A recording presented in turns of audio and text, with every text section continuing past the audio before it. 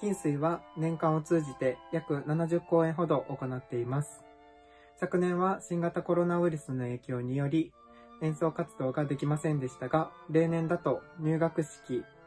ポップスコンサート、生駒祭、そして1年間の集大成である定期演奏会など、1年間を通じて様々な演奏会に参加しています。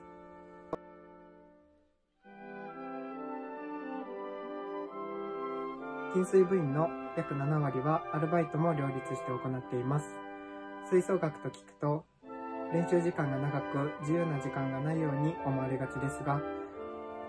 空きコマや練習終了後など、時間を有効活用し、アルバイト、勉強、部活動を両立して頑張っています。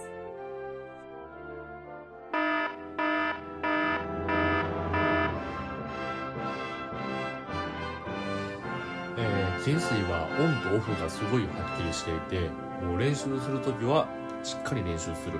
けどオフの時はもうパートや先輩後輩のもう垣根を越えてめちゃめちゃ仲のいい部活です金水は人数がすごく多いというわけではないんですけれども、えーと、みんなの息が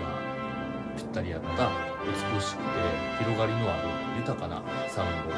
これを私たちは近代サウンドと呼んでいるんですけれどもこれにすごくこだわりを持っていてこれは他にはない金水の唯一無二の魅力だと思います。